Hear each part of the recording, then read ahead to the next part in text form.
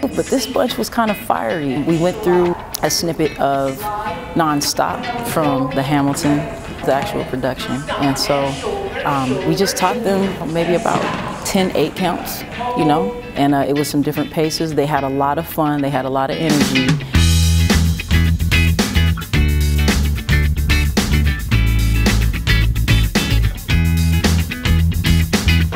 I just love the energy that I saw. Everybody, we're all kids inside. We're we, we're young at heart, and all the senior citizens that were here, they want to stay active. They want to, you know, they matter, and and they want to move, and they want to do things. And and I saw that. I saw them dancing. I saw them moving. I saw themselves enjoying. Basically, almost 95% of the the. Uh, people in here were, performing and they were great. They took the, uh, the movements really and uh, again it's all about having fun and making sure that they're uh, having a great time and putting their own um, spin to the movement. So, uh, so Shakia and I were just amazed and blown away and it was a really, really fun experience for both of us.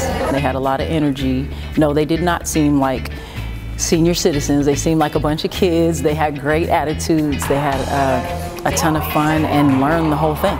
I think they did match us, and in some cases they passed us up. So, so that was good to see.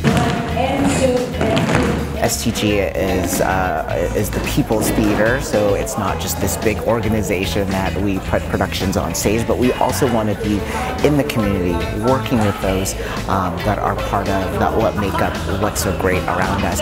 Music is probably the most surprising thing about people in terms of their taste and what they're interested in, and I think it's something that can connect the quickest because it doesn't require you to talk. It's just that universal language, you know? I mean, it's uh, it doesn't matter about where you come from, what language you speak, you know, you, you got it in you. you. You hear the rhythm, you hear the music and that, you know, that, that bass, the heartbeat, that soul comes out. And so I think that's what drives some everyone here to just want to participate, to hear the music.